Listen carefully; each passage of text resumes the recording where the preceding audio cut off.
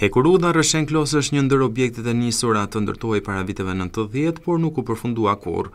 Mat Televizion ka sjellë herë pas here copëza të kësaj vepre, ku shumë prej tyre, kryesisht urat kanë mbetur përgjysmë. Por ka edhe vepra të përfunduara të cilat mund të shfrytëzohen sot.